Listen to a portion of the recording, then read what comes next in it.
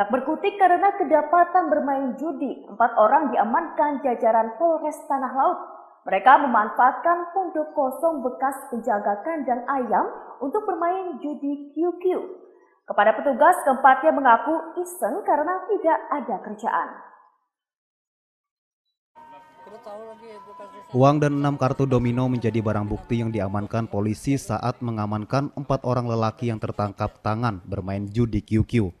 SM, SH, RD, dan HW, semuanya warga desa Martadah Baru, Kecamatan Tambang Ulang yang diamankan polisi Rabu lalu. Penangkapan empat orang ini berdasarkan laporan warga yang resah adanya perjudian di desa mereka. Laporan tersebut ditindaklanjuti petugas Polsek Tambang Ulang hingga menangkap keempatnya yang tengah asik bermain dari sore hari hingga pukul 23.00 Wita. Keempat tersangka mengaku iseng bermain judi karena tidak memiliki pekerjaan. Itu pulang dari kebun, pulang dari sawah? Kalau hujan kan nganggur tuh. Mas. Oh pas hujan nganggur main itu. Idenya siapa itu? Idenya ini yang beli kartu. Ya, Tidak. di jalan ngomong-ngomong jadi. Jadi Kapolres Tanah Laut AKBP Sentot Adi Darmawan mengatakan adanya laporan warga sangat membantu petugas dalam upaya memberantas perjudian. Menurut Kapolres, keempatnya diamankan oleh unit reskrim Polsek Tambang Ulang.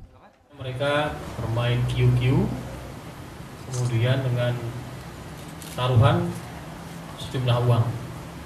Ini terungkap berkat laporan masyarakat yang sudah resah.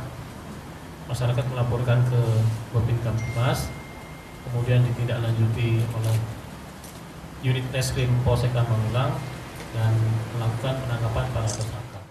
Keempatnya saat ini menjalani pemeriksaan di Mapolsek Tambang Ulang dan dijerat dengan pasal 303 KUHP sub pasal 303 BIS KUHP dengan ancaman 5 tahun. Dari Tanah Laut, Zulkifli Yunus, Ainus melaporkan.